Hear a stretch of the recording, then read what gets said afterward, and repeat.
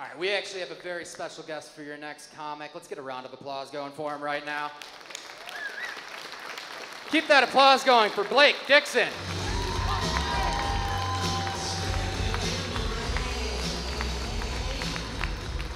All right, give it up for your host, everyone. He looks he looks like the turtle I tried to rescue outside, but um, he's adorable. We love him. All right, we having fun so far, huh? Yeah. All right. I hear a lot from non-white people. They say things like, "Well, I did something white the other day," but you don't hear from a white guy like me. Uh, I did something black, black yesterday.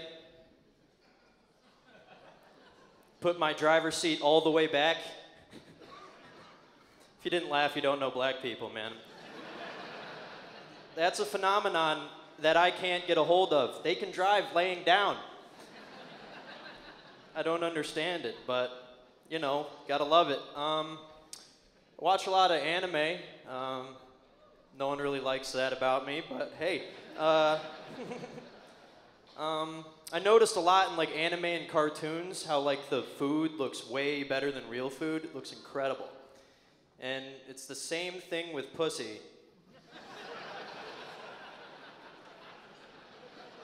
Like, dude, I had no idea it looks way better when it's hand drawn by a Japanese man. I mean, good God, it's incredible! Y'all need to get on this shit, dude. It's, it's life changing.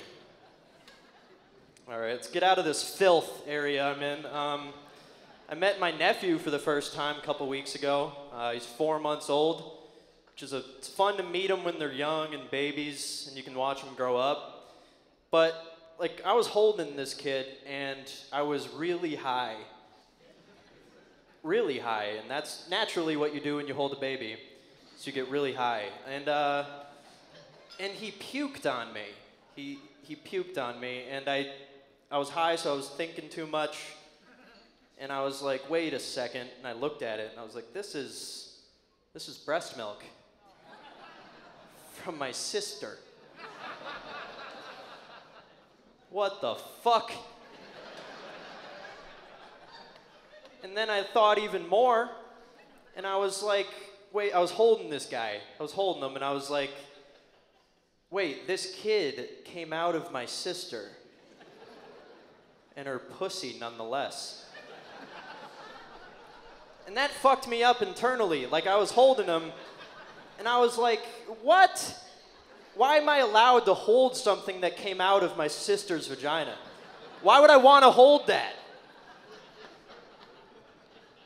This is a life I deal with.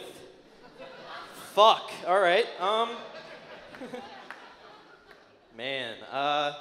But he, he can sleep really good, like which is different from me. I can't I could never fall asleep right as a kid. And I'd ask my mom to put on a World War II in HD and then run the dryer.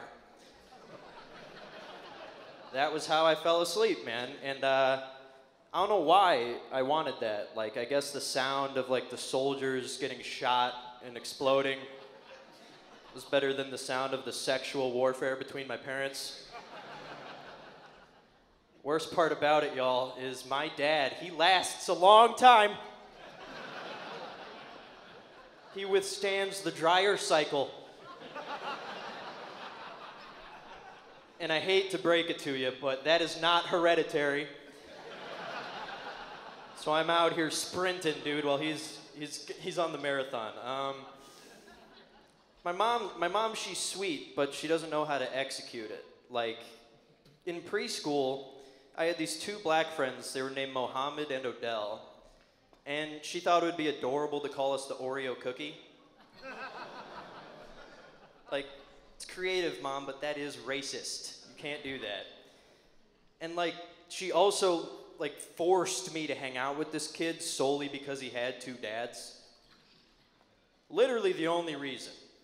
And I don't know why she felt so bad for him. Like two gay dads, it's better than what I had one gay dad and one oblivious mother. Someone's got to tell her dad doesn't like tennis. Why is he taking tennis lessons? All right, folks, that's my time. Thank you very much.